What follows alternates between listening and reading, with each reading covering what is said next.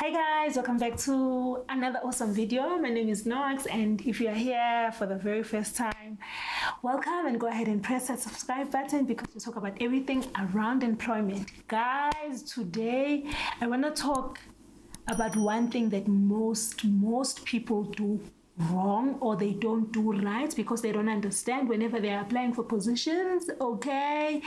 And if you are one of those people that have like a preloaded cv somewhere saved and every time you see a job position you go ahead and press that apply button to submit your cv and you wonder why you are not getting any replies. And after you've sent a number of applications and no one is giving you any feedback no one even is even calling you to ask you a few questions just to sort of give you an idea that they are considering or they maybe might shortlist you for that position. So, guys, today I want to talk about um, something that is called an applicant tracking system. Okay, so this is a software that is used by most medium to large um, companies uh, to actually manage their application or job applications whenever they do have one. They also use it to create database, all right?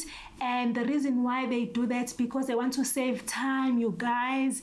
Um, they want to streamline their recruitment process so that um, this system can do some shortlisting before your CV makes it to an actual person like me who's a recruiter. Okay, so guys, I'm gonna break it down to you because I know it's important that I do share about this because most of you that are not in recruitment are not aware of this system. You might even know because every time you see um, it's either the company would advertise a position or you know it's a company with sort of like a database where they say submit cv or apply or you check positions that are available. And if they are not there are no positions that are available at the moment you can actually put your cv through to be saved into their database. Okay.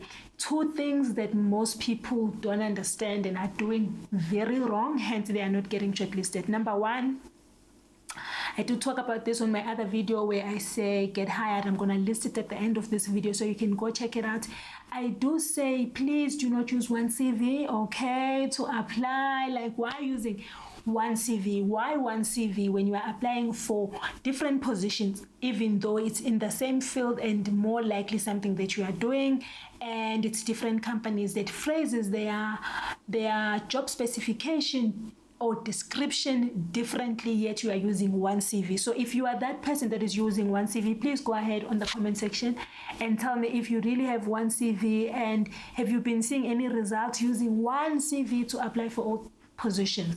Okay so if you've got one cv what happens is every time you apply this tracking system someone behind takes a job specification and puts in keywords to match your the, the job spec to the candidate that they are looking for. So every time you are putting your CV, this machine will scan the CV and would sort of have an idea. Sometimes you get those companies where you submit your CV and it sort of create a CV for you, formatted CV, using the information that you have given to the system. So you fit the system and then it will generate its own CV, of which that's what it just conclude on. Okay. Number two, people are not using the right keywords every field have those keywords that you can't miss out okay? So whatever field you are in whether you are in finance whatever you are doing there are those key responsibilities or keywords that define your field and you need to get it right. This is my advice. I mean online application it's the thing you guys. I mean you don't have to physically go drop your CV, okay? You can be at home, you can be wherever, you can be on vacation, and you can still apply for positions. So, this is what you want to do to do it right and see the results. Once you've seen the results, please do come back on the comment section and do say if you've got the results. So, this is what you're to do, you guys. You're to get a job specification that is detailed. Don't be quick to go press apply, uploading that CV that you've been sending to 59 companies and you have not gotten any results yet. You want to get your job specification. You want to read through the job specification. You will also see that there are in term when it comes to responsibilities you want to say that there are those responsibilities where they're sort of repeating themselves they they're breaking it down and they're saying something and everything is just linked. It gives you an idea of exactly what they are looking for. You want to tweak your cv now hear me clear because i don't want you go tweaking cv and you are in hr here you are and now you're in a medical space and you are applying to be a doctor. No that's not what i'm talking about same field you, you feel you meet the spec 100%, you're gonna tweak your CV using exactly the same keywords that they used on the job specification, applying it to your CV. Okay, and when you do that, once you upload online, this machine that tracks and shortlists will see those keywords and you'll pop up on top as the most suitable candidate or close to matching for what they are looking for. And that's how you can get an opportunity to shoot, to be shortlisted. I'm in recruitment and I know we do this every time we get a job specification. We go to our database, which has a lot of people, you guys, from all walks of life with all the experience you can ever think of with all these qualifications that hey people that are very experienced. But what we do when we get to um, that database we use keywords according to what we are sourcing for.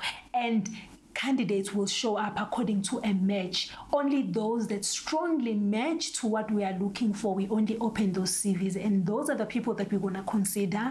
And then we're going to shortlist, let's say, five people that we feel they are very strong. And then we want to go submit those people to a hiring manager to have a look at them and then decide who they want to see for an interview. So if you are using wrong keywords or your keywords are not matching to the job specification, okay, you are not going to get shortlisted. You going to keep applying and you won't get any results. Okay, once the, the hiring manager has decided who they would like to see an interview or who they're really interested in, then we give them a call and we talk briefly about it and just to check if the candidate is, is open. Are they all really on the job market? Are they really uh, wanting or looking to make a move? And then we will take it from there. Okay, so that's one thing you guys need to do. I always say easiest jobs to get are those where you get a job specification or it's a pop-up um, position available in that company because they will give you a job description which gives you um, a better chance of being shortlisted because now you know exactly what to, work, to work what you are working with okay?